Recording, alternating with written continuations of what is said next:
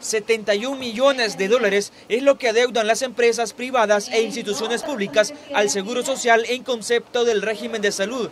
Es decir, que el dinero fue descontado a los trabajadores, pero nunca fue trasladado al IS. El subdirector hizo un llamado a los patronos para que se pongan al día con sus deudas. Entre ellas aparecen algunas instituciones del Estado, pero es una mora histórica que viene desde el 2005.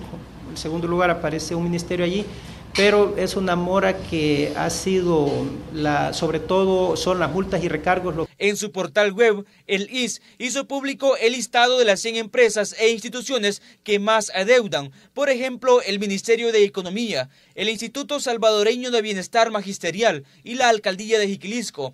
Para conocer si la empresa donde usted labora está al día con el Seguro Social, puede consultarlo en la página web www.is.gov.sb. A pesar de esta situación, el Seguro Social no se queda de brazos cruzados y anunció el Plan Navideño 2014 del 20 de diciembre al 4 de enero 2015. 2.372 personas apoyarán al Ministerio de Salud en 27 establecimientos, además de 19 centros médicos del IS atendiendo las 24 horas.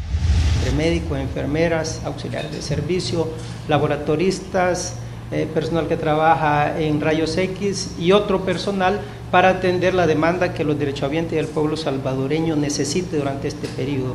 Tendremos ocho hospitales aperturados las 24 horas del día y además tendremos alrededor de unas 13 unidades médicas que trabajan las 24 horas.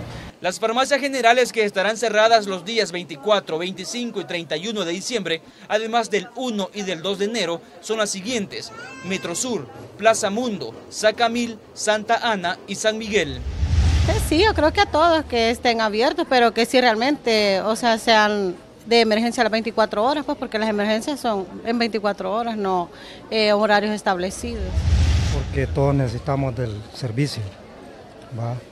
Y si no están abiertos, entonces este, dañan a la, a la población que cotiza, ¿verdad? Las oficinas administrativas del Seguro Social reanudarán labores el 5 de enero, informaron las autoridades. Con imágenes de Juan Castellanos, Raúl Hernández, Noticiero Hechos.